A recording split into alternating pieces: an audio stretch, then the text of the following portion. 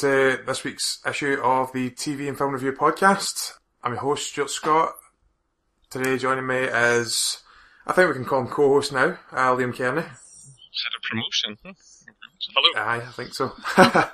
and also film writer, Kate McCall. Hello. Nice to have you back, Kate. Nice to be back. Very, very sorry about not, not having a show last week. Um, a few scheduling conflicts meant that we, we couldn't really get enough people to do it. But we're back and hopefully better than ever this week. we'll see how it goes. so, I think we'll start off as usual with uh, what we've been watching this week. Uh, Liam, if you want to go first, kick us off. Yeah, no worries. Uh, well, this week I have been watching the, I don't know if you guys watched it when it was originally on Channel 4, or Sundance in America. Uh, the Returned, it's like a French drama, people came back from the dead, um, and they kind of, they didn't realise they died, so it's all in French with subtitles. I kind of missed a couple of episodes when it was first on, and it's now on Netflix to watch. So I kind of watched all that, so I kind of watched that in about a day, because um, it's just obviously with Netflix, because kind of binge watch. I kind of watched all. There's only eight episodes that kind of flew through quickly. Um, so that's really good. Really recommend it to people. I think a lot of people can get put off because it's subtitled and you know having to read it. And I mean, you really do need to pay attention because obviously if you miss anything, you don't know what's going on, unless you know French, of course. Uh, but um, yeah, I really recommend it. It was really good. It's kind of got some kind of um, kind of interesting storylines. It's got a second series. is It's been picked up for a second series it was on in France a couple of years ago, and they still haven't shot the second series yet, so I don't quite know when it's going to come out. But um, Mm. definitely recommend that for people. And ABC, one of their mid-season shows, Resurrection, sounds a bit similar to it. I was going to say, if uh, if you watched the Oscars last night, every break, Resurrection, Resurrection's coming, Resurrection, and just, really? yeah, and it was just like, this looks so bad. because, Yeah, I'm- yeah, I, I watched, um, maybe, mm, two thirds of The Returned, and then, um, I went to, it was, it kind of crossed over with when I was in Tokyo last summer, so I missed the end of it. Um, and was a bit, I wasn't really, you know, I didn't have that desire to go, you know, when I came back to go back and watch it again. It, I, I liked it, but it was, um, it was, it is quite slow, and Yeah. and like you mentioned, if you're not quite, it's not one of these ones where you can like, you know, do a few things on your phone while you're watching it because you will lose what's going on because you need to read the subtitles. But Totally. It made apparent how much I clearly, like, go on Twitter and that when I'm on my phone. Uh, when I'm watching TV, because I was just like on Twitter and then looking up and be like, I don't know what they're talking about. I know, Um, like, so yeah, yeah. totally needs to pay attention. Um, yeah, I, I agree. It's slow. I saw it was on Netflix anyway, and I thought, oh, you know, I might, I might go back and and watch it all again. I'd have to start again because I can't. Yeah. I'd, I'd miss all the little little intricacies and things. But um, yeah, it's. Uh, but the re- but Resurrection doesn't. It's not. They're saying it's not a remake, is it? But it's kind of loosely based on The Returned. Yeah, I think because I think it's a book They're returned, so I think they're both kind of based on the same. book. Ah, I could be wrong. Ah, I could be wrong. Um, I think the returned is based on a. No, I think the returned's based on a film. Oh, it's based. On, yeah, it is based on a film. Yeah. It, I don't know. The Returned was quite because it was quite slow. They had that. Oh, they had that little boy, like that demon child boy, didn't they? It was Yes, just like yes, really freaky. boy. Yeah. and it was quite creepy, and you know, they had there was a serial killer element from what I can remember as well. Yeah. And I'm not sure what Resurrection just looks a bit like. Oh, a bit more soapy, a bit more like oh, they've come back from the dead, and it's all about. You know, the, more about the grieving process and fitting these people back into their lives. I'm not sure if there's a supernatural element Yeah, to it at all. Yeah, yeah, I'm not sure either. I think I read um, a, a preview, like mid-season preview, and they kind of said that Resurrection kind of focuses more on the religious side of, like, you know, God and Yeah, what kind of happens. The Return doesn't really touch on that at all. They all seem to just kind of accept that these people have come back and, yeah, and don't really make a big deal about it. But I think Resurrection, like you say, is a bit more soapy and a bit more kind of, what does it all kind of mean about God and all that kind of stuff. yeah. It's proper Right. ABC, isn't it? Yeah. Oh, definitely. definitely. Yeah. I mean, I'll, I'm gonna, I must admit, I'll check it out just because it sounds so similar. But yeah, I don't think it's going to be anywhere near as good. But I agree, it's slow, but you should definitely Yeah, think because it's it. Yeah. yeah, I think it helps with Netflix as well because you can kind of keep going. And like you say, there's all kind of little points that kind of later on all kind of feed into the same thing. The last episode, it just goes really weird. And Mm. um, yeah, quite strange, and what makes you then kind of want to know what's what's going on. I was going to say it makes you excited for the second series. Oh yeah, definitely. I Yeah. can't wait. It's good. Um, so that's so that's the main thing I've been watching. Other stuff, obviously, with the Olympics being over, a lot of stuff's been back now. Um, like Thankfully, Grey's. I know, thank goodness. Uh, it's like Grey's Anatomy, but I'm sure Stewart will probably be talking about that. Scandal's back, which is good, which is probably fantastic. It's totally bonkers and just, uh, I don't really know what they're going on. They're just going absolutely crazy with it, but it's good. It's still good. Good guilty pleasure. Uh, Parks and Rec is back as well, which is Yes. hilarious. It was came back with an excellent episode. It was, it was so good. the bit with Ben and Larry or Jerry or whatever. you call Yeah. them, I just- the whole kind of date thing was fantastic. yeah, I really liked the the beginning as well, where she's in the um, the radio station. And you've got the guy Oh. from Pawnee and the guy from uh, Eagleton. just where, I really like the bit where he says "scoff." Just Did you just say the word "scoff"? Uh, yeah, I had uh. I had quite a few uh, during that episode. Oh, oh, me too. And um, that's probably about it, really. And then the mid-season stuff, obviously, just kind of checking them out, seeing whether any of them were any good. Didn't really Do you think, worth watching? not really. No. Um, I thought the NBC comedies about a boy was pretty much just a film in 20 minutes. oh god, really? Yeah. Um, with One Direction thrown in. Growing Up Fisher, the one about the blind guy, was terrible. They picked the most unlikable child as the lead. I don't know how you can do that, but the child was horrible. And, um, Mixology. I don't know if you guys watched that, the one, ten single people in a bar or something. Yeah, I heard about it. I, I jokes seen, I about- seen we done a review on it. Um, is it a reality show? No, it's a, it's a sitcom. It's kind of, people have been comparing it to happy endings. Alright. Um, so it's like 10 single people in a bar and they're all kind of meant to find love, but it's, you know, guys are making jokes about rape and all this. It's just not funny at all. And again, it's wasting the Modern Family slot. Like, the Goldbergs or Trophy Wife would have been perfect after Modern Family, Yeah, but yeah. instead they've put that and it's just, I don't know what Yeah. ABC I think. Yeah, that's an odd Hmm. that's an odd pairing. I, And, I, um, I, I was just going to say that I really like the premise for that, but um, I remember way back in, um, or when whenever the trailers were released, and I watched the trailer for it, and I just thought, no, it's it's not going to be funny, and no, obviously it it's had bad it's had bad reviews, so but good premise, but shame. It's probably like a lot, lot of American or a lot of shows. They've got a good premise and then yeah, it just never works out. Um, yeah, the only I wouldn't say it was decent. The only one I kind of liked was Starcrossed, which is on the CW. Um, I quite like the idea behind it, kind of what you're saying, Kate. It's got a good premise. Aliens kind of crash land on Earth, and it's about them kind of living with humans and some of the kind of So is this like teenage. a remake of The Neighbours, or No, no, no. It's like um, is it like Roswell? well, yeah, kind yeah, of, yeah. uh, yeah. They kind of get The, the aliens kind of get integrated into the, the high school, but I mean, it's kind of typical CW. They've got a love triangle and all that, and everyone's really pretty. Um, it's just like, it's kind of a shame it's on the CW, because I think if it was on another network, kind of the, like, they've got kind of the kind of political and there's side of Yeah. things, and there's, um, a, a, rene- a, a renegade group trying to bomb the humans and all that. I think if it, if it wasn't on the CW, it could be a lot better. So, Hmm. pretty people, I mean, you can't go wrong I know, aye. Best thing about the CW, isn't it? Yeah. They, definitely. but they just recycle the same people over and over again. so Yeah, well, as, as the CW in this one, they've got like a, I think everyone in it has been in another CW show. Oh my god. They have totally just recycled them. Uh, but yeah, that's pretty much me for this week. Alright, Kate, do you fancy going next? Uh, yeah, I haven't really got. Um, like I said, I've been watching. Um, I c- caught up on like Parks is back this week and Community and um, and Modern Family as well. But um, the, and then it's just the stuff that I was watching last time as well. So like True Detective and things. But the one I did want to mention was Hannibal was back um, on. Well, it was back on Friday, I think, and I didn't realise it was actually on Friday because I'm pretty sure last series it was on a Thursday.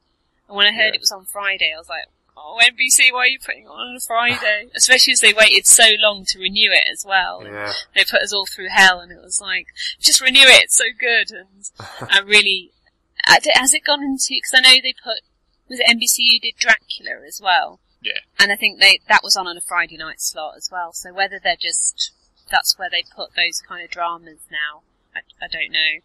But for me, Fridays just means they want to get, you know, it's been pushed off and it'll get cancelled and it's, you know, the death knell of television. So I was a bit like, ooh, I have to put it on on a Friday, but Yeah. but anyway, we'll see how let's see how the ratings go, I guess. But um, I thought it came back really strong. Um, I really li- have you guys seen it at all? No, I've got I've got the um, first season stored up, but I've not had a chance to watch it. Okay, well- been there for ages, but I really fancy it. Okay, well, I won't spoil too much then, but um, it's um, it kind of picks up well, almost you know straight on from where season one ended, and it you know so the the, it, the quality throughout season one was so strong and so Yeah. high, and it just you know carries on from that. You know, season two just starts immediately, and it's quite interesting actually because it starts with kind of a flash forward, and so to like an amazing fight sequence and you're just like, is this a dream? What's going on? And then it's like, says like, oh, 12 weeks earlier and we get into like season two proper. So we know what we're building up to now. So that's really interesting how they're going to get there. So, um, So is that going to be like the finale then? Is it? you I, think I they're presume so because it's, um, it said 12 weeks earlier. So it's pretty much like saying 12 episodes earlier, you know. so, um, but yeah, it's, it's a good start and it's set up the, the storyline for season two. Um, so, and I still take it. cast Um, really strong. So yeah, I take it. Mads Mikkelsen's uh, staying on for season two as well. Yeah. yeah, yeah, yeah. Everyone's back. Um, Hugh Dancy's back as Will Graham and um, Laurence Yeah. Fishburne's back. So I forgot Laurence Fishburne was in it as well. yeah, Um, I, I love Mads Mikkelsen. You know, Yeah. superb actor. yeah, yeah. He's really good in this. And so if you haven't seen any of it, Stu, it's just it's, it's by the Yeah. I'm, I'm dying to get started on it. I've just other things have popped up that I really want to see. and- Yeah, it's definitely worth a watch. It's by the guy who did Pushing Daisies, I think. Uh, Oh, yeah. Bryan Bryan Fuller, and Yeah, um, it's just shot. I mean, well, another tip for you is don't don't eat while you watch it Ah, yeah, David was telling me that as well. Yeah. because it's it's in in in one sense it's like proper food porn because he's making all these amazing dishes, but it's like human meat. so. Uh, Nice. and also the serial. the other funny thing about it is the, the serial killings in it are so horrific and grotesque, and they get away with a lot for a network television show. But you're just thinking of all these like horrendous serial killings happening in the same town in the same state. It's like they must have the worst serial killers in that in that part of America. But um, yeah, it's uh, season one's kind of um, it's a little bit procedural, but but interesting as well, like really interesting cases. But then you've got the main arc as well. So, um, and Yeah. so I'm not really sure. The way they started season two is um, is that it's it looked like it was going to be a one-off case, but then it seemed to end halfway. The, the episode ended halfway through the case, so whether it's not Oh, them focusing more on the main the main story arc this year rather than you know like a monster well not monster of the week but like Yeah, yeah. serial killer of the week so but yeah definitely definitely recommend worth a watch and really good cast and uh, beautifully shot but really grotesque and ugly and yeah. you know disturbing and a bit like a bit gross as well yeah but yeah that's about it for me really All right. Um, also, Liam, you mentioned uh, Grey's Anatomy came back this week after my false announcement a month early. I'm all excited too early. Yeah, I was I was really really excited for it coming back, and uh, ended up quite disappointed with the comeback episode. Uh, everyone said that they loved it and everything, but I don't know. I won't spoil it too much, but the thing that happened in the mid-season finale, it kind of happened off screen, and Yeah. I didn't like it. I, I thought I thought that should have been a big moment for them with the ah right spoilers. Ah, I'm just I don't even care. Um, with uh, Jackson and April uh, getting married, I thought that should have been the pivotal scene, and that, that should have been the way it opened up, started with a bang, and they're getting into all this the crap relationships that I don't really want to hear about. To be honest, I, I don't know. I'm a bit pessimistic about the rest of the season. It's just the interns. They, they just need They're to so get bad, rid of they? the interns. Yeah. Dragging it down. Especially the guy, Shane. Oh, I, Do you know I really liked him, but I like think it was more because of my love for Friday Night Lights that I liked him. He's uh, Smash Williams, and I can't remember which season he comes in in uh, Friday Night Lights, but he was good in that. The the um, Grace, the tall girl, she she is just awful. yeah. I, I, wouldn't be wouldn't be bothered if they just killed her off screen and said, ah, she left for another hospital or whatever. Yeah. Um, other than that, I continued watching Archer. Uh, that's I don't know. I've been getting quite into my animated stuff this last couple of weeks. Um, Archer's really funny. It's really quite dark, and for, for anyone that hasn't seen it, it's about a um, like a really I don't know, like a horrible version of James Bond. This super spy who's just a total arsehole, basically. and just gets all up to all sorts of mischief while he's drunk. And it's funny, it's good. Yeah, I tried watching it because you recommended it because I like Bob's Burgers. Yeah. But I don't know, I think I, the the animation kind of annoyed me. I think I really need to I sit down and give it a go, but yeah, I don't quite like the. Funny you mentioned Bob's Burgers as well. They do a wee crossover episode at the start of season four that I really liked. Basically, it's him pretending to be like he walks into this role as Bob from Bob's Burgers, and it's just kind of explaining what happened between season three and four. It's uh, it's quite funny, but that's kind of the point I'm up to just now. I think I'm just maybe three or four episodes away uh, away from the end of season four. Um, and I'll need to find. I don't know if Channel Five have got season five on over here yet. I might just try and catch up on that as well. Um, Justified as well was really. Good. I remember Robbie saying couple of weeks ago this was me just getting to catch up with it, like all the surprising deaths and things like that, and just the way it all turns out. It's really really good.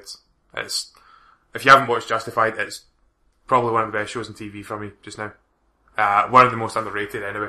It's like a kind of cop drama, but it's more than that. It's more kind of character focused on uh, Timothy Olyphant's uh, character.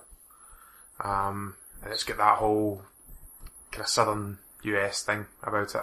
It's it's really cool. I like that. Um, I started watching. Uh, bear with me on this one. Um, started watching on Netflix Adventure Time uh, with my wee sister. Oh yeah. Oh, I've heard about that. Do you know what? It's really fucking good. It's so funny. um, it's a bit like The Simpsons, and there's references there that kids wouldn't get, and it's kind of for people our age, you know. Yeah, I've s- I've seen a few episodes of it, um, I don't quite get the humour of it. Well, I mean, I get the humour, but I don't. It's not my time. It's not my kind of humour. But yeah. I like the, the little fantasy, you know, because they're only about they're only 10, 15 minutes, aren't they, an episode? Yeah. And um, I like all the little fantasy adventures they go on, and I like I like that element of it. I just wish I found it a bit funnier. Yeah. That's just stopped me. You, you can just put it on the background, and it's, it's Yeah, yeah, definitely. Yeah, 'cause and there's they've put there's quite a few seasons of it, aren't there? Is there like I think- Um, Wanna I don't know. It's only the first one that's on Netflix. Oh, you might be right, aye. Um, well, maybe not as many as 10. I think I was still watching Cartoon Network 10 years ago and it hadn't started yet, so maybe, maybe Six. six or seven. Yeah. Yeah. But yeah, like I said, it's really easy to watch and you can just throw it on. And, uh, I- I'm going to be honest, I have watched a few episodes without my wee sister as well, so guilty pleasure there. Um, what was the last thing? Oh, someone convinced me this week to start watching anime again, like the Japanese manga cartoons, and uh, I decided to watch one that everyone who likes it talks about, uh, Attack on Titan. It's uh, I don't know, I take it you guys aren't uh, into it, into that kind of thing, no? I'm not. No. No, No, uh, I, I know a few of them, but I haven't heard of that one. It's uh, that's like the the massive one just now, and uh, I put it on. I put on two episodes the other night, and I think I watched. Found out it was on Netflix yesterday, and I watched about fifteen episodes this morning. Woke up really early at like half eight and just watched watched all of it basically. Um, a little bit ashamed about that, but it's so good. It's so addictive. Recommend it to anyone who anyone on Netflix actually gives that a try, even if you're not into uh, the anime and all that, because I'm not really. But it's it's really good. It's really quite creepy at the start, and then So, Um, what's the basic premise of it? It's kind of a fantasy world where all the humans live inside this big walled city, and uh, outside of it, it's these giant monster people things um, that eat humans, and um, something happens, and it's like a big war that starts basically. But it's it's more about the characters and all that as well, and how the story goes on from from where you think it's going to go. It kind of goes off on a tangent. It's it's really cool, especially if you've even if you like that kind of thing as a kid. Like I used to watch Dragon Ball Z and all that when I was yeah, when I was a bit younger. Um, it's that same kind of like the fight scenes and all that all the action scenes are quite similar. But yeah, it's really cool. Um, you should give it a try. If you're not addicted after the first episode, then you drop it. Uh, 20 minutes as well, so very easy to watch. Um, so we'll move on and we'll talk about our first topic, the movies that are going to be released in March. I haven't Yeah. done as March movies, that sounded much better. Um, so what what films are coming out this month that you guys quite fancy seeing? What are the, The ones Mupp- that you're the most looking Muppets. forward Muppets. to? Muppets, oh yeah, that's at the, the end of the month, isn't it? The end of the month. isn't it? In 20 Yes. yeah. Sadly, that's the only downside about it is Ricky Gervais is going to be. Oh really? I'm not a fan. No, I'm not I, either. I always sound like I'm down on everything on this podcast. um, yeah, but no, I'm really excited about the Muppets. I loved the first movie. I thought it was fantastic. Took me back to my childhood, so I'm really looking forward to this. And Tina Fey's in it as well, and I really like Oh, yeah. her from 30 Rock. Yeah. Um, so really looking forward to it. But yeah, it's just a shame Ricky Gervais is in it, but I can put up with him. Maybe he won't be in it very much. No, hopefully it's just a wee cameo, but I have a fe- I have Well, a he's been feeling. plugging it on fa- uh, Facebook and Twitter all week, so I think he might be in it for a while. Yeah, I think he might be as well, but. And uh, probably the other one for me is Captain America. yeah, I think everyone's looking forward to that, aren't they? Not me. Are you? I Was am. it you that uh, had all the, the hate for Captain America last time? No, I, am not interested in any of the Marvel films. Oh no. So I've never seen any of the Iron Mans or uh, oh, I've seen the Thors, um, but only because Natalie Portman's in them. She's thought you my were going to say only because I thought you were only going to say because of Chris Hemsworth. No, no, no, no, no, no. Natalie Portman all the way. That's why I watched them. um, so no, I'm not. I haven't got any interest, I'm afraid, in, uh, in Captain America. Yeah, fair enough. Alright, so what ones are you uh, buzzing for, Kate?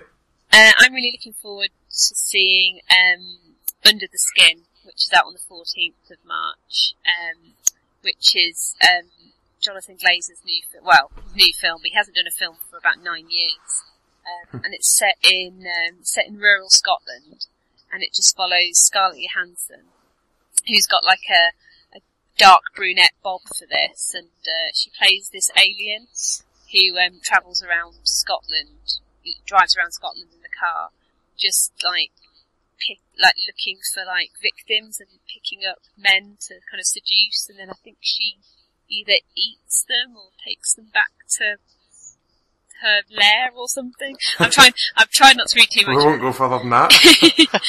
Family friendly and I all know. that. Well, no, it, yeah, it's probably a good 15, 18 certificate, but um, I haven't I haven't read too much about it. Uh, all I know is she's an alien and it's rural Scotland and it's very weird and um, it premiered at Venice last year and it got really good reviews and people were saying, well, it kind of it was getting amazing reviews, but then it also had this um, it's got this tag of being a Marmite film, so you'll either love it or you'll hate it. So the people, Hmm. if you love it, you'll really love it. So that's why it was getting it's getting a lot of Yeah. five star reviews, but then it it got a few, you know, some people didn't get it either. So Was it Um, filmed in Scotland?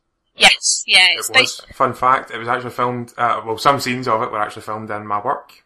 And uh, Oh, a couple wow. of my colleagues might have background extra roles. Really? I'll need to check, I've not seen it yet. And did you get to meet Scarlett Johansson? Uh, no, I was No. off the day she was filming. Oh. oh damn! That's a I would shame. I would have just come in. But yeah, everyone else got to meet her. I'm so jealous. Oh, and, Apparently she's tiny. and, and, she, and is she nice as well? Uh, yeah, no one really had anything bad to say about her. Yeah. But, uh, Oh. I can't, I can't attest to it personally. well gutted.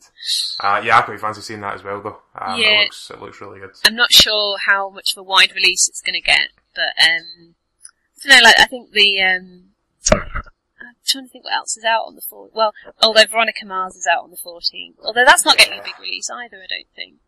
Uh, Uh, probably not here. I think it's got a decent release over in the States. Yeah, yeah. I think it? Because I think there was some question about whether it was even going to get a theatric release over here, but I Yeah. think it is. But I think it's not. I don't think many cinemas are picking it up, so maybe the big cities will get it. Yeah. Um, but actually, it's not. It's not a very strong week that. So hopefully, Under the Skin will get get a fair few cities and a fair few. Uh, like Cineworld might pick that one up. So, so yeah, definitely looking forward to that one.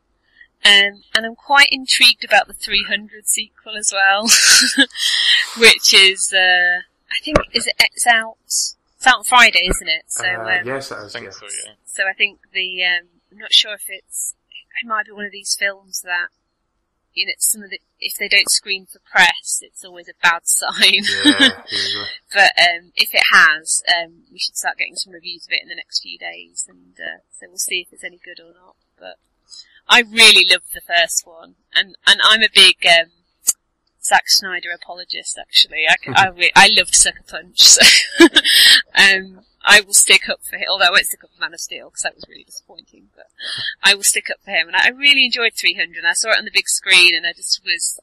I don't think it was 3D. I think it was just just 2D back then, and it was. I just remember being just transfixed by it, and I just thought it was so beautifully shot. And and I and I studied classics, and so obviously it wasn't completely faithful to to, to history and to literature. Oh, really? And I, I things. didn't realise No, that. it's, it's really more about the action and things. But uh, I really enjoyed it, and and I really love Eva Green as well.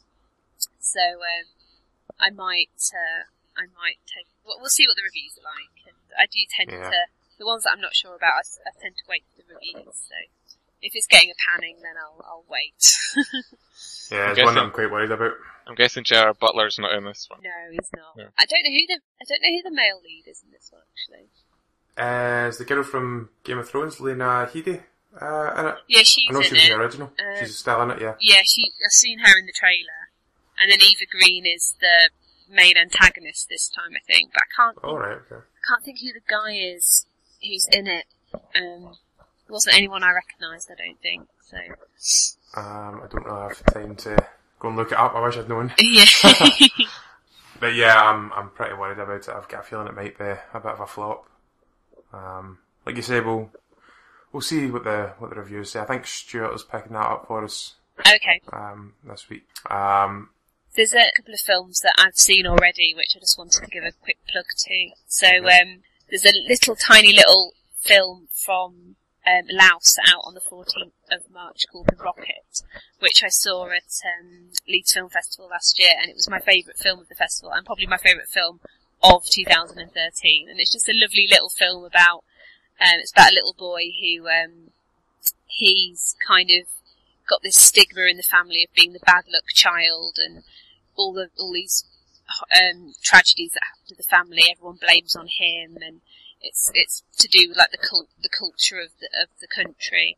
And but he knows in himself that you know he's not a bad person, and um, it's just about, about his family um, uh, moving from one settlement to try and, and find a new home. And throughout the course of this, um, he has to, or he decides to enter this rocket competition to make your own like handmade rocket, and whichever one, um, you know, travels the furthest and explodes, you know, the biggest, um, wins a cash prize and I think some land as well. So he he enters it to try and make a better life for his family. But it's just a really cute little film, and it's it's it's kind of predictable, but in a really nice way. And I just I remember seeing it at Leeds, and like when it finished, everybody just you know applauded, and there was just a really good, it's just a good feel in the cinema about it. So um, yeah, I don't think it will get a big release, but I just wanted to put a shout out to that one. Yeah, it'd be nice to see it on uh, in a few a few cinemas. I, I like when indie films get a wee Yeah, a decent run in the in the cinemas. yeah, it won at um, it won at Tribeca last year as well. So um, it's it's Yeah. yeah, it's done a, it's done really well on the festival circuit. So now it's getting its official release in the UK. So definitely recommend people go and see that. And then on the 21st, um, Labour Day's out as well, which is Jason Reitman's new film, who did Juno and Up in the Air and um, Young Adult. And um, it's a bit of a change of pace because he's kind of he does really cool indie comedy dramas, and this one's more um, of a family drama in kind of almost it's almost a bit Spielbergian as well. So um, and it stars Josh Brolin and, and Kate Winslet, and they're both really solid actors, and you can always rely on them, and they've got good chemistry in this. And it's just a nice little story, and I, I, it's been getting a few lukewarm reviews, but I, I saw it at London Film Festival last year and really, really enjoyed it. So definitely check that one out as well. Do you know what the trailer for that just does not sell? It, oh my god, no, it doesn't. I saw it. It's, it's one of the worst trailers I've seen. I know. I watched it. I saw it before. I hadn't seen the trailer um, since um, I went to see Dallas Buyers Club on Thursday, and I got and the trailer for, for Labor Day was before that, and it was. I just want as soon as it had finished, I just wanted to stand up and just address everyone and say it is not as bad as that trailer suggests. It is really good. But I really hope someone does that next time I'm at the but yeah, ignore the trailer. Just just go and watch it. It's really good. Okay, I'll give it a go. um, the one that's uh, out same day as 300, like we were talking about before, um, Grand Budapest Hotel. Yeah. I I think I'm the only one of us who actually wanted to see that. I think it looks pretty funny. Uh, yeah, I I won't go off on my Wes Anderson rant, but I really like Wes Anderson, and then I just think he's got a little bit too set in his ways now. He's a little bit Yeah. too of that of his style, and um, I wish he'd just just change it up and just do something completely different. And this looks I wasn't a big fan of Moonrise Kingdom, and uh, this looks his same kind of style. Um, it does look it does look funny and it does look better than Moonrise Kingdom. So I, I might be tempted to give it a go, but I just wish he'd just do something completely different. Um, like Yeah. he, when he did Fantastic Mr. Fox, which was I don't know if if you guys have seen that, which is this kind of stop motion animated. Um, No, I've not seen it. it's just it's really really good and it's his kind of humor and and style but but just different because it's animated and it's you know the Roald Dahl book so I think he's I do think he's a bit better sometimes when it's he's not working off his own script but um we'll see we'll see it's got a really good cast hasn't it Um, yes, it does. I, I forget who's in it right now, Oh, but I know it does have a good. list and lists of people Yeah, I remember seeing it, um, and been pretty impressed. Um, the other one, again, you brought it up before, uh, Veronica Mars. That's that's my my top priority this uh, this month. Um, I love the TV show. I've done a few pieces for it on the site, I think, actually. But like you say, it wasn't really due a a massive release here, and uh, obviously a lot of controversy because it was like one of the big budget Kickstarter projects yeah so we'll we'll see how it does. But I, I think it looks pretty decent from the trailers and all that, and basically just a, an hour and a half to a episode of the show, I think, which isn't a bad thing. Very good show. You should ta- uh, check it out if you've not seen it before. Um, kind of teen detective thing with uh, Kristen Bell from Frozen and uh, forgetting Sarah Marshall and all that as well. yeah I've I've had it recommended to me countless times but um just never got round to it it's only two seasons as well isn't it so Uh, no, it's is it three four seasons, I think. oh, okay I Maybe was- three. I thought it was three. Maybe it's three. But it's it's a little bit like uh, Elementary actually. It's that same well similar kind of style. A bit more a bit more CW than what Elementary is, obviously. But uh, yeah, it's good. So obviously with that getting a a remake as a movie, uh, might be a good segue for us to move on to talk about Heroes coming back. yeah What, what do we think about that? Why? Liam, I know you want to you want to talk about it. Just why? Oh, I don't know. Uh, uh, that is my. That's I, well. That's all I've got to say. Yeah, I don't. Uh, I don't know. I really liked the first season, and like everyone says, it went rapidly downhill after that. And I can't really say I was sitting on my sofa going, "Ooh, I really wish they'd bring Heroes back." Like 24 is coming back. Quite happy about that. Quite happy to watch another kind of little series of 24 because I think they probably could do more stuff. But I, yeah, I can't really say I was sitting here going, "Oh, I really wish they could bring Heroes back." I just, I just don't see the point really. Why? Just why? And plus, although it, it has the potential, because if they're going to bring in a new lot of cast, because I must admit by the end, I didn't like Sylar or Claire or Yeah. any of them. I thought they were all really annoying. So maybe if it's a new cast, it might be, and if it's shorter, they won't have to have so much filler. So it has the potential, but yeah, I just I'll I'll wait and see. But yeah, I just can't really say I understand the logic behind it all, to be honest. Well, I think that was the the original vision they had was to change the cast every year, like just Yeah. do completely new scenarios, sort of thing. Yeah, like an American Horror Story type. Thing. Yeah, kinda, yeah. Um, and because everyone loved the loved Sylar and Hiro and all that, they just decided to run with that, and it went a bit shitty. just a little. Do you know what? I, I think I'm one of the five people that actually watched it all the way to the end. And it was it was cool seeing guys like Robert Knepper popping up and um, folks like that, like that you see elsewhere on TV, but it just wasn't good. Um, the the way they flip flopped, uh, like with some of the cast members, like uh, Sylar's a baddie, and then now he's a goodie, and then now he's a baddie again. It's it got really old really fast, and uh, the hero becoming basically a, a kind of cartoon version of him. Um, I didn't like that either. Um, there was there was too many things they done wrong.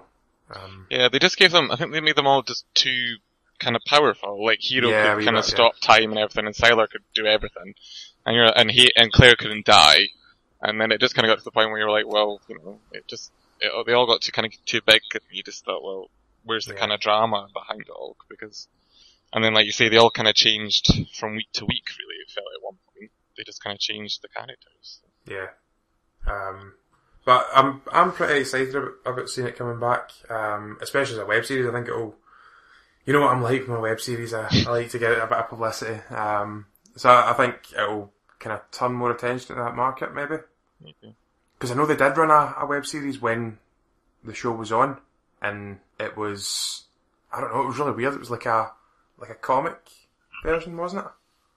I, I don't know if any of you actually seen it, but uh, it was quite well hidden away on the um, on the network's site. Um, but it, it seemed like a bit of a waste of time. I just hope that uh, the new version doesn't go the same way. I suppose maybe if it's now, like you say, web, like you've talked about, like on the podcast the other month, the other week even, um, how like web series are quite the end thing at the moment. Maybe they'll do a better job of it. Um, Yeah, hopefully. kind of take more chance. I mean, I don't know. Does it make you guys think of other shows that you kind of think you wish they'd bring back, or think they should bring back as kind of mini, mini series? Is there anything you think? Ooh, I wish they'd bring that back. Veronica Mars was always the one that I wanted. Uh, like the the end of the season three DVD, they had like a wee kind of mini bit of her going to join the FBI and all that, and I think everyone wanted to see that coming back as a as a mini series, but obviously the movie coming out. Um, maybe maybe Friends. I, obviously that's too big budget for something like that, but I think just for a bit of extra closure that people want. I mean, everyone wants to see it coming back, don't they? But I think they just need a like a final nail in the coffin for it. You know, I don't know. I think it'd be. I think sitcoms are probably easier for it, but then it's finding one that fits that that situation, isn't it? Yeah. I think it's quite interesting how obviously they've brought 24 back as an event series and like this event series is like the new thing in American television now it seems. So, but you know 24 hasn't even aired yet, but you know NBC uh, I think have just seen how well it's been received and gone, oh what can we do for an event special? So they've you know I don't know whether they've always pl- you know it's been brewing for a while to bring it back or whether they've you know, they just want to do this this event mini series type thing, and they've they've looked back through their programs and, and thought, what can what can we bring back? And I think Tim Tim Kring did Touch, didn't he? And that didn't go anywhere. Yeah. So uh, so it's a bit of a shame. He's like, oh, I'm going to have to go back to the one thing that was vaguely successful for me, and it's like, don't you think of something else? But but yeah, it's because I know um, uh, Fox are doing another one as well, aren't they? With um, M Night Shyamalan as well. Yeah, I think he's yeah. doing um, like a Twin Peaks type show. So uh, whenever anyone says Twin Peaks, I'm interested, but I do wonder whether they just throw that in there to get people to get people watching, and then it's not going to be anything like the quality of Twin Peaks and the weirdness of Twin Peaks. Whenever anyone mentions M Night Shyamalan, uh, that I'm just automatically not interested. Well, true, yeah. Bit of a boner killer, isn't it? So are they? Is this going to be? Um, so are they bringing back a? They bringing back any of the original cast, or are they? Um, is this a brand new cast, or have they not? Re- They haven't said yet. I think I think the plan is to have it as new cast, and like Stu's saying about the web episodes, they're going to use them to introduce them before it actually airs. Yeah. But um, and then they've said that the new, like the old cast might pop up every now and again. But I suppose it depends what they're all up to, because I mean, Sylar or Zachary Quinto's now off being Spock, Yeah, he's a bit too big for it, isn't he? And um, Hiro's now on Hawaii Five O, I think. I guess guys like uh, Greg Grunberg and uh, Milo Ventimiglia, don't know how you say his name, um, Peter Petrelli, basically. Uh, I, I think they could probably come back and do it, but most of the, the big ones, maybe not. That, that's one of those shows like Lost that you just you wonder whatever happened to some of the cast, don't you? Yeah. Like uh, whatever happened to uh, the blonde woman, Ali Larter. oh yeah. Yeah, where did... Uh, she just disappeared. She went, uh, she went into an episode of Entourage and then never heard from her again. uh 'cause she was famous for doing Legally Blonde, wasn't she? Yeah, she was in that. Was she not in a Resident Evil film? Tell me that up. Um, I don't know. Maybe. Maybe they've all just gone into terrible film roles. Yeah, Resident Evil films bombed. So. Oh no, Nathan Petrelli. Can't remember who the actor's name. He pops up in one of the Amazon pilots that Amazon are doing. He's one of them that. Basically playing Nathan Petrelli, but he can't fly, really. Um, so he's in that, so I know at least that much. And Ah. Claire's obviously in Nashville now. You know, country. Yeah. Yeah, she's been on to have a decent, uh, pretty decent career. And uh, married to Vladimir Klitschko, isn't she? The boxer. Am I making that up? If you say so. yeah, I, I I'm, I'm pretty know. sure she is. One, one of them anyway. Maybe, uh, maybe the other one. Um, but with that uh, getting a reboot, I thought it'd be kind of appropriate to bring up the Matrix possibly getting a reboot as well. Um, people have been talking about the. I don't know if it's an extended trilogy or a remake trilogy or um, just a completely new trilogy in the same universe. But that's one that I'd be quite interested to see because although the, I mean, have you guys seen the the original Matrix trilogy? I haven't. How could you miss that, Pete? well, Keanu Reeves. it's uh, no, it's not. It's not anything I'm interested in. So I get the Fair same enough. reactions, but uh, But yeah, I, I don't know if the second and third films were a lot worse than the first. A lot Uh, worse than the first. A lot worse, yeah. uh, so I don't know if it's worth continuing on from that or to go to a different character who is also the one or or what, I don't know. Uh, it'd be interesting to see what they do with it anyway. If they decide, I mean, this is all just rumours, but a few sources reported it, so I figured it might be, it's worth mentioning anyway. I don't know, maybe, maybe it'd be a bit more popular if Keanu Reeves wasn't in it. Yeah, A lot of hate for the guy. I quite like him, but uh, he is very bland, isn't he? very. I think it's the same as Heroes for me. I just wonder why why they would need to bring it back. Again, I can't really say that people are sitting here thinking, "Ooh, I really wish they'd do a new Matrix trilogy."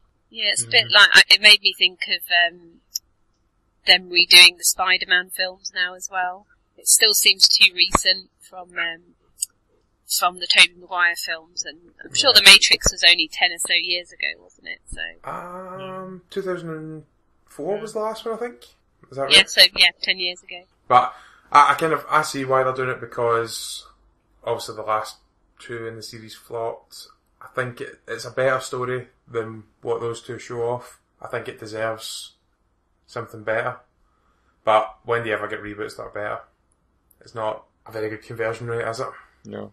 Although to be fair, the new Spider-Man maybe I think's better than the Tobey Maguire ones. Yeah, I. I, I agree though. I don't know why they did it, but No, I think the characters are better, but you you knew, you knew the story, didn't you? And you knew where it Yeah. was going. So, um, but yeah, no, I, I did like. Um, I, I prefer Andrew Garfield to, to Tobey Maguire, definitely. Um, so should we move on to talk about the Oscars? Yes, so it's the um, it's the day after the Oscars. I'm still really tired.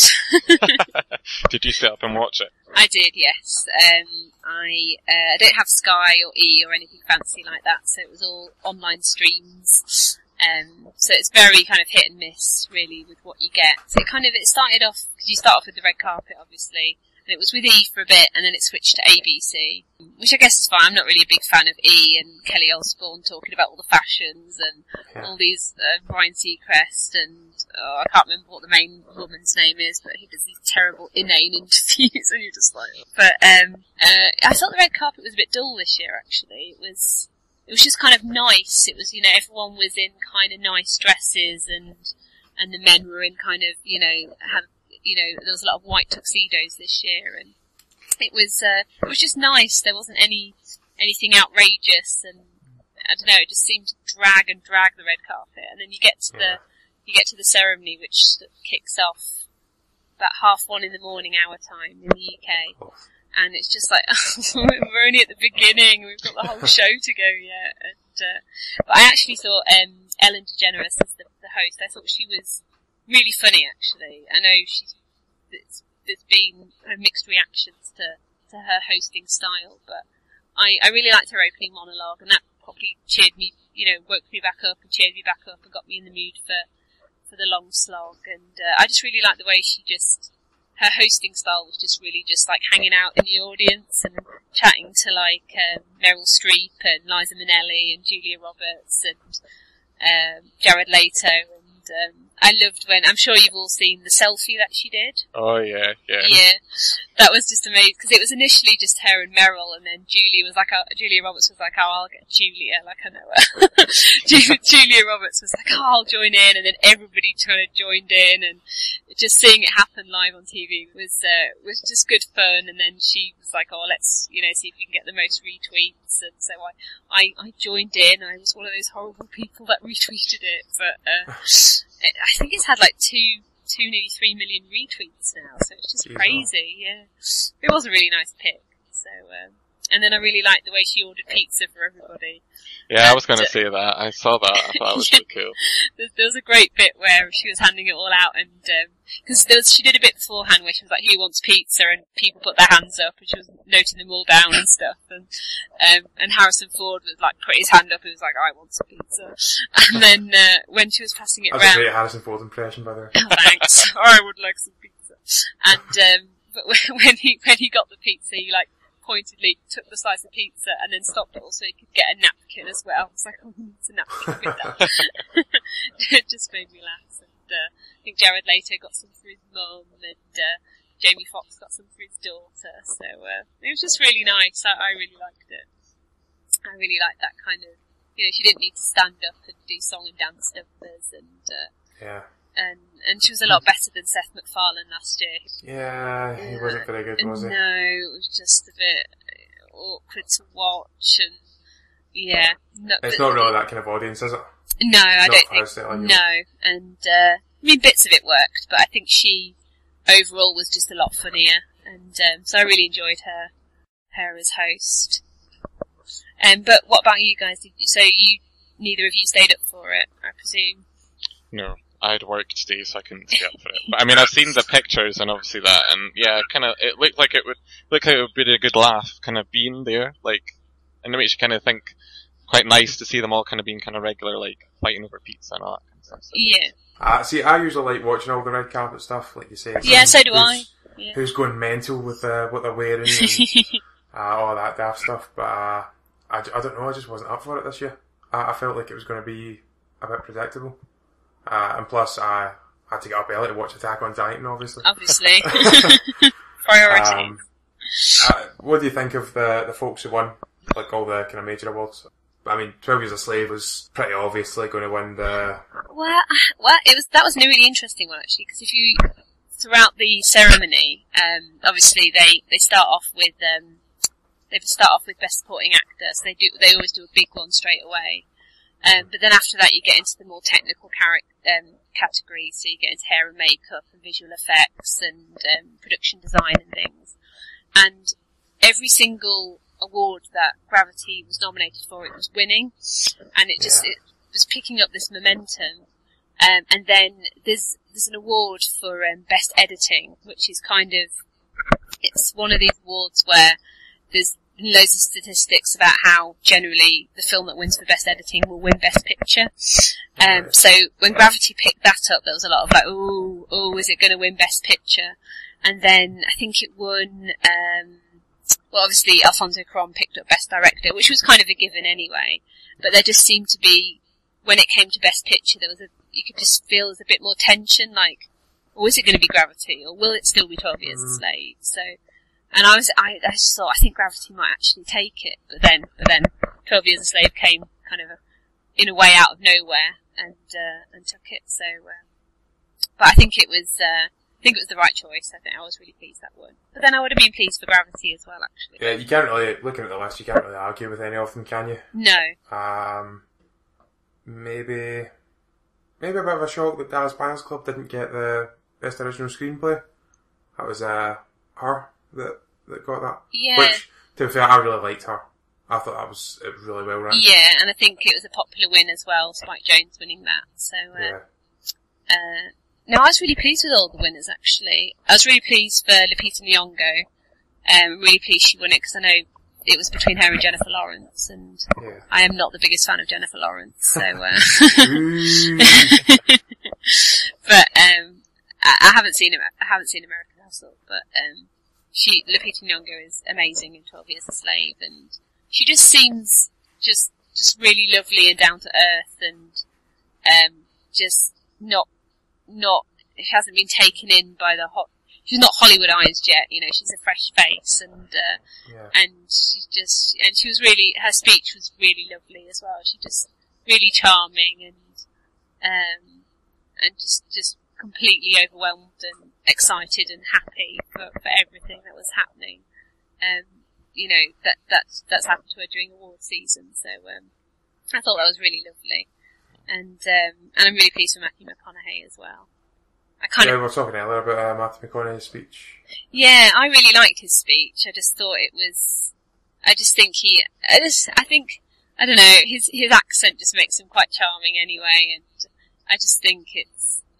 I know he was basically saying that his hero was himself, and a lot of people. And and then and yeah, we talked about how he didn't mention. Um, Jared Leto made a point, and actually, um, I think it was uh, hair and makeup. I think it won for as well, and the the the girls who did that made a point of thanking all the um uh well not thanking but um making a point to mention um the victims of the AIDS virus and, and Yeah. HIV and you know how important the film was and and to tell their story and Matthew McConaughey didn't mention any of that it was pretty much all about his award and you know who who he looks up to and who he wants to thank and and Yeah. thanked God as well. It was quite a he was the only one who, who made it a bit you know, went the religious route Yeah. um, for the speech. But I, I thought I thought he was really charming and I really liked it and I was and he is really good in that film, so I've got no complaints really. Let me ask you, do you think, uh, you said Best Supporting Actor was the first award up, didn't you? Yes, yeah, I think Do you think first if, uh, if Jared Leto hadn't made that speech, uh, like done the whole kind of, Uh, uh, charity angle of it, do you think it would have went down the same, like, same kind of controversy for That's what I was going to say. Um, and and it, well, that made me think maybe he thought, you know, it's they've already been mentioned. You know, Jared Yeah. Leto's already mentioned them, and the and the hair makeup girls have already mentioned it. So, um, but yeah, I mean, I'm sure it's they. I'm sure they rehearsed their speeches, and he knew what he wanted to say. But I can also imagine. You know, you forget so many things while you're up there because it's so overwhelming, and whether he meant to mention them and just you know forgot or you know Yeah. was you know because I think I think when they go up there I think they they're given um on the teleprompter thing I think they're given like a, their time limit to speak or something Ah, right. Ah, right. so um because some of them are like oh I've got 40 seconds and I've got to say this and this and this so Yeah, whether he makes was sense. I don't know so um Is it his first Oscar? it is yes I was just saying maybe that's as well. He was getting all like excited. Yeah, It's his yeah. first one, and obviously ha- having his big reconnaissance that yes he's been on about. He was looking a bit excited. I know I like to think he's also one for True Detectives because he's so good in that Uh, what do you think about John Travolta? Because I've read that John Travolta pronounced, um, yes I'm going to say her name right, Edina Menzel's name. Uh, Idina Idina Menzel, Menzel, yeah. yeah. He yeah, called her it. He called it. Well, he kind of mumbled it a little bit, but it, it was quite clearly Adela Dazeem. He called her. he was like, he was like the the wicked, the wickedly amazing and talented, and the only Adela Dazeem. and it was just like, what? and What me, in my ignorance, I was like, oh well, maybe that's how you pronounce her name. And then Twitter was like, he totally fucked up. so, um, but I loved how she's changed her Twitter name to that now. Oh, really? yeah.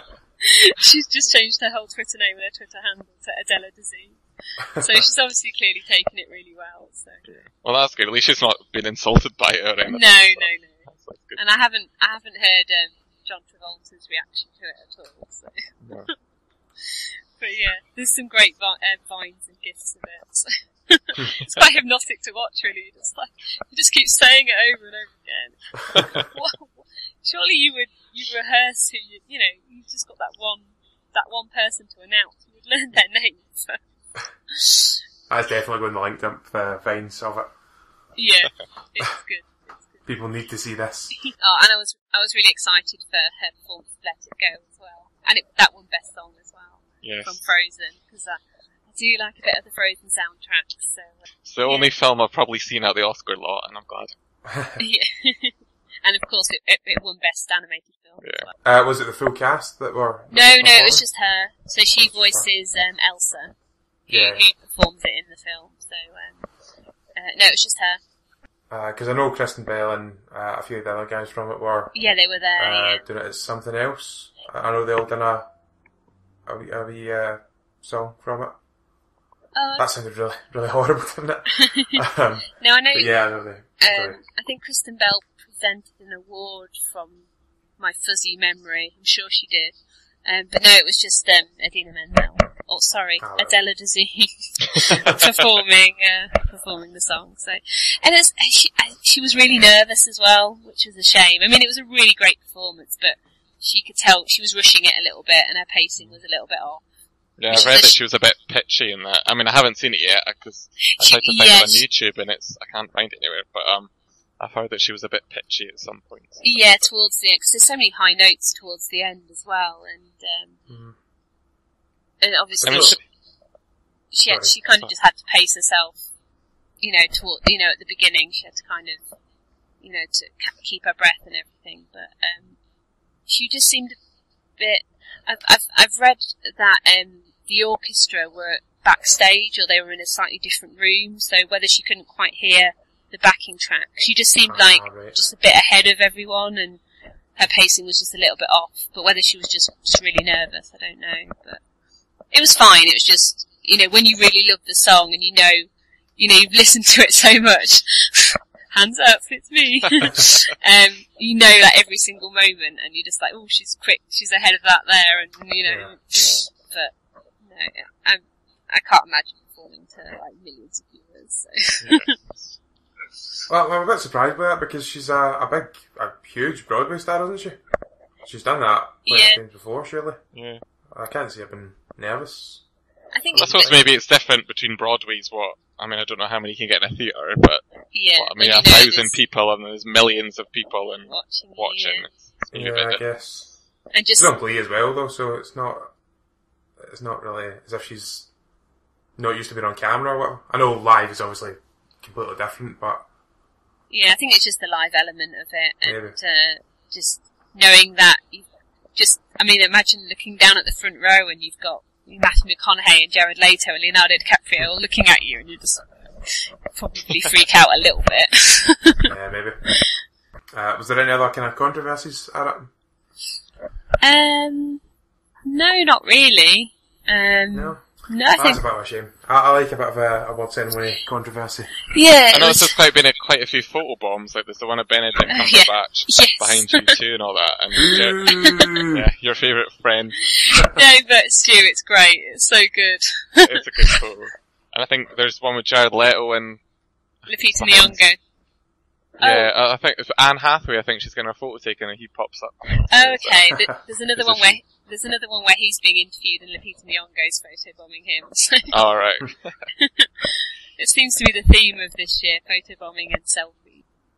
Yeah, we'll put a few of them in, uh, in the link dump as well, so that everyone can see them just in case they, they missed them on uh, bigger sites that we won't mention. Um, I don't know, was there any, any other topics that we want to bring up?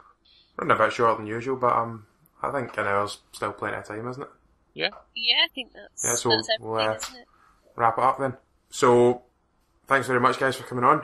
Um, you can follow Liam at underscore no crisp underscore packet. Yeah, that's right. Yep, that's the one. Yeah, uh, crisp at underscore packet on Twitter, and you can follow Kate on Twitter at underscore culture mouse.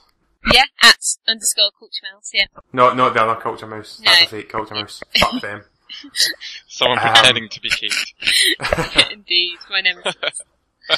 Um, and don't forget, you can follow the site on Facebook, Twitter, uh, Google Plus. If you just search TV and Film Review. And you, Stu, you Um, can follow you as well. You've not mentioned yourself. Well, I am at the Stew Dog. Everybody should know that by now. It's 'cause, yeah, everybody just knows. It's in there, ingrained into their consciousness.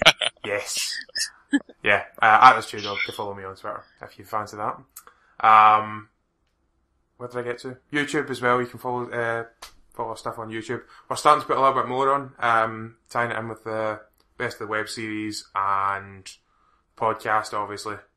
I'm having a bit of trouble with YouTube where we can't upload the podcast, but I've got it on my channel and I'm putting it onto the, uh, the TV and film review one, so we will still have it there. Um, it'll all be tied in.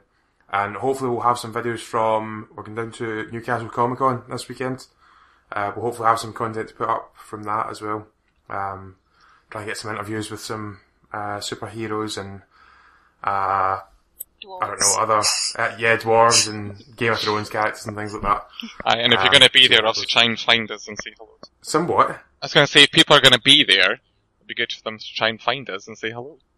Oh, right, yeah, yeah, of course, of course. um, well, we'll be hunting people down anyway, so don't, don't worry too much about that. we will get you if you're there. That sounds threatening. um, yeah, you can, uh, hopefully you're already subscribed on iTunes. That's apparently the one that matters. Um, but if not, you can search TVFR and you'll get us there and click the big subscribe button. Um, you can get us on Bandcamp as well at tvandfilmreview.bandcamp.com. It's like a high quality MP3 download. And I think that's it. So yeah, thanks very much again guys. And we'll hopefully uh, see you next week if you fancy coming on. Um, and I'll need. To, oh wait, wait, wait. Theme song. What theme song are we having this week? Um, how about some? Let- He- Heroes one's a bit shit. Yeah. oh, yeah, it um, is, isn't it? What about some Let It Go? Oh, that's. Oh, Oh, yeah. wait, wait, wait, wait, wait. I'll put that on YouTube. It'll get flagged.